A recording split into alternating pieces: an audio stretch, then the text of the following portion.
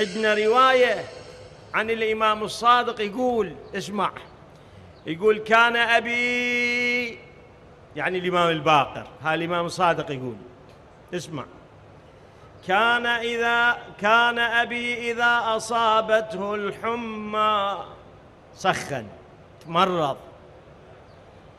كان أبي إذا أصابته الحمى استعان بالماء البارد. ماء بارد يسوي له كمادات سخن يسوي له كمادات استعان بالماء البارد وخرج إلى خارج الدار ونادى في الباب. يوقف باب الحوش. وصاح يا فاطمة أغيثيني. شوفي من ساعته. قال أفرأيتم ما كنتم تعبدون؟ أنتم وآباؤكم الأقدمون فإنهم عدو لي إلا رب العالمين الذي خلقني فهو يهدين والذي هو يطعمني ويسقين وإذا مرضت فهو يشفين والذي يميتني ثم يحيين والذي أطمع أن يغفر لي خطيئتي يوم الدين. أنت لو كنت معتقد معتقد عن حق عن جد بذيك الساعة أوقع لا سامح الله بشدة. وقف بالباب وصيح يا فاطمة أغيثيني تغيثك بذيك الساعة.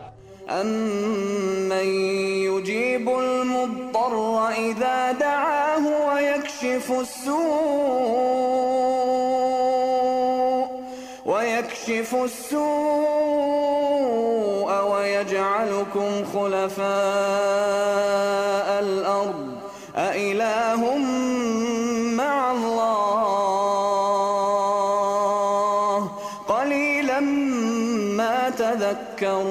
تذكرون بس شنو يحتاج؟ هذا الاسم يحتاج لواحد مصدق معتقد.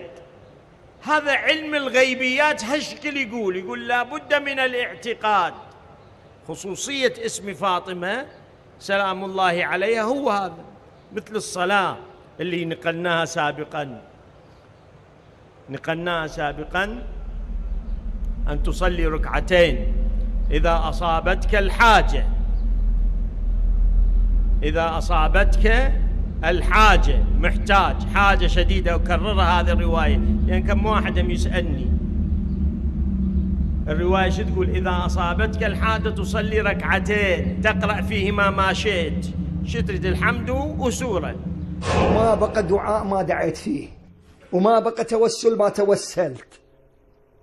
فالتفت إليه الإمام سلام الله عليه قال أين أنت عن صلاة الاستغاثة بأمي فاطمة? قال يا ابن رسول الله وما صلاة الاستغاثة بأمك فاطمة؟ ثم تسجد وتقول بسجودك مئة مرة يا فاطمة يا مولاتي يا فاطمة. مئة مرة بالسجود. تقول يا مولاتي يا فاطمة أغيثي مئة مرة. بعدين قم خلي الجانب الأيمن على الأرض. توسل بقلبك. نفس الشيء. مولاتي يا فاطمة مئة مرة أيضا. أغيثيني. ثم بعد ذلك ترجع للسجود مرة أخرى مئة وعشرة. تقول مئة وعشر مرات. يا فاطمة أغيثيني ثم تجلس. سوف يقضي الله تعالى حاجتك بإذن الله تعالى.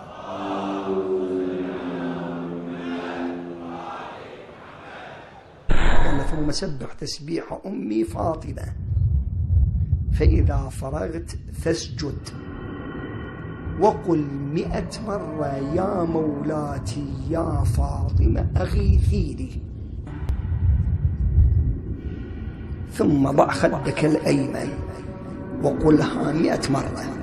ثم ضع جبهتك وقلها مئة مرة. ثم ضع خدك الأيسر وقلها مئة مرة. ثم ضع جبهتك وقلها مئة وعشر مرات. تمام الخمسمائة وعشرة. تصدقون الإمام الصادق لو ما تصدقون يقول الإمام فأنا الضامن على الله أن من صلاها قضيت حاجته.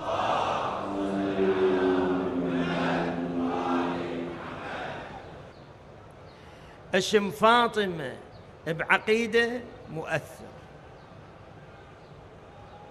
أما إذا فد واحد يخلي لي التجربة والله نقول خلي نشوف شوف قلبك إيش قد أنت معتقد. يؤثر مع الاعتقاد. أما لا قدر الله ما ما معتقد لا والله سمنا أنا الباكر الصبح. صح يا فاطمة ما؟ هذا معنى التوحيد أنك تصلي صلاة الاستغاثة بفاطمة الزهراء وتسجد وتقول يا مولاتي يا فاطمة أغيثيني مئة مرة هذا التوحيد.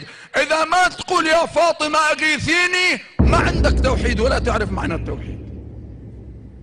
عندما أقول يا علي عندما أقول يا حسين عندما أقول يا زهراء هذه ذروة التوحيد سنام التوحيد جوهر التوحيد. الإمام الصادق عليه السلام كان يقول عليكم بالزهراء. استغيثوا باسمها ونادوا مولاتكم فاطمة وحينئذ تقضى حاجتكم وتنالون مطلبكم. فهل تغيثنا الزهراء عندما نقول يا زهراء أغيثيني؟ إن شاء الله. آه، روينا في كتبنا المعتمدة والمعتبرة والمعول عليها في الدعاء والزيارات. عن الصادق صلوات الله وسلامه عليه. أنه قال إذا كانت لك إلى الله حاجة وضقت بها ذرعة فصلي ركعتين وقل بعد السلام الله أكبر الله أكبر الله أكبر. ثم سبح تسبيح فاطمة. ثم اسجد وقل مئة مرة يا مولاتي فاطمة أغيثيني. مئة مرة. ثم ضع خدك الأيمن على الأرض وقل مئة مرة يا مولاتي فاطمة أغيثيني طيب نواصل هذه الحلقة بهذا السؤال. وصل لنا عبر التواصل الاجتماعي يقول آه، صلاة الاستغاثة بالزهراء عليه السلام هل لها سند عن طريق أهل البيت عليهم السلام أو لا؟ هذه الصلاة كما ذكرت قربة إلى الله ولكن فيها توسل بالسيدة الزهراء عليه الصلاة والسلام والتوسل أمر مطلوب شرعا عند كل الأمة الإسلامية باستثناء فئة شاذة وهي الوهابية الذين آه، يعني يتهمون من يتوسل أو من يستغيث يتهمونه بالشرك. وهذه التهمة باطلة ولكل الأمة الإسلامية تستغيث وتتوسل بأهل البيت عليهم الصلاة والسلام. نعم أستغيث بفاطمة. هنا أتذكر أن قبل سنة أو سنتين انتشر على مواقع التواصل الاجتماعي اعتراض لبعض الناس. وهؤلاء إذا تريد أن تحسن الظن بهم تقول عنهم جهلة. لا يعرفون. وإذا أردت أن لا تحسن الظن بهم أو إذا أردت أن تعاملهم على الظاهر تقول أنهم مغرضون. لأنهم نشروا صور يا مولاتي يا فاطمة أغثيني وحاطين عليها X أنها خطأ. بل قل يا الله بحق فاطمة أغثني هذا الفكر الوهابي عندنا لا رواج له في أسواقنا. أسواقنا نحن لا تنزل فيها إلا بضاعة محمد وآل ولكن محمد هذه صلى الله حملة عليه تشن علينا وآله. دائما. فلتشان وهي الوهابية الذين آه، يعني يتهمون من يتوسل أو من يستغيث يتهمونه بالشرك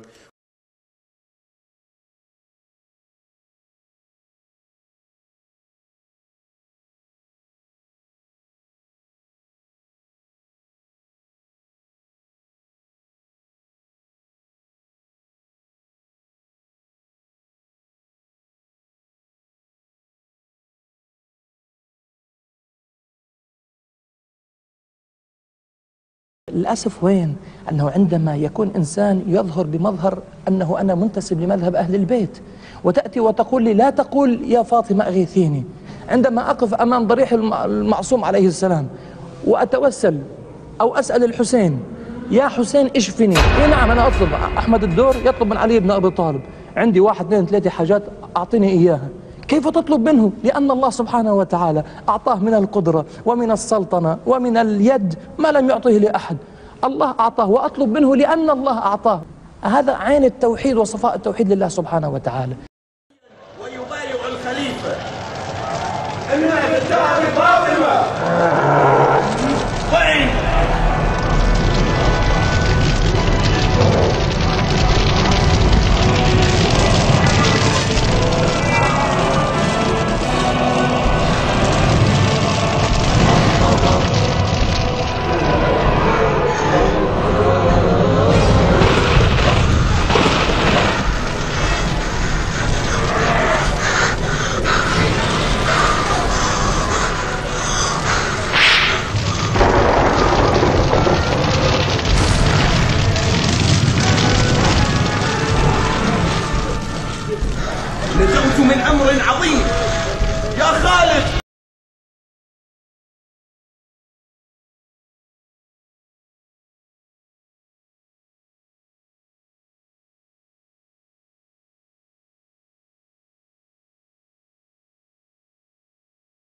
فعندما أقول أولا رواية من يريد أن يعلم الصادق عليه السلام فهو إنسان يعني أقل ما يمكن أن يقال في حقه أنه جاهل. هذا أقل ما يقال. أقل ما يمكن وهو أكثر من ذلك. لكن بعد نحن في مكان.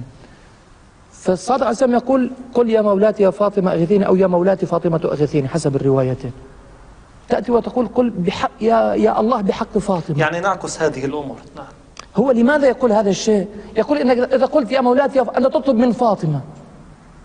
أنا أعرف إنك أنت تروح تطلب من الدكتور. ولا وزوجتك مشكلة. تطلب من. الدكتورة. وفلان وفلان وفلان. كل هؤلاء يصير إلا تصل عند فاطمة. فالمشكلة أنه يعني هذا دليل على البغض.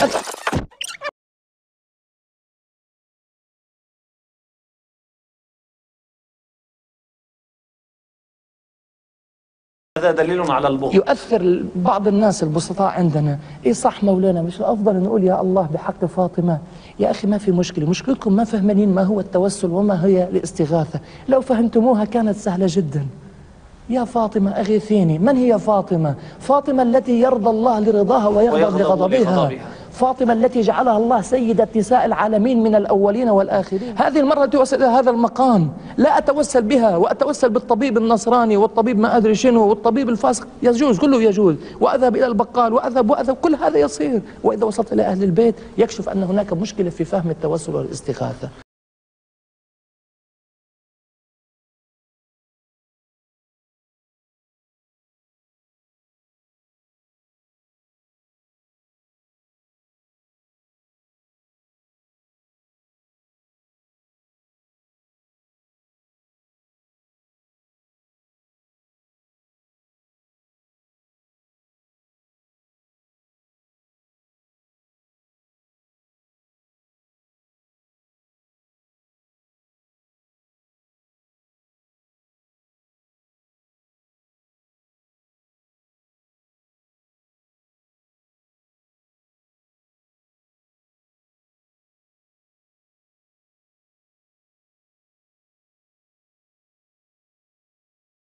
ونحن نقول مولانا في هذه الحلقة يا مولاتي يا فاطمة أغيثينا بظهور المهدي عجل الله تعالى فرجه الشريف.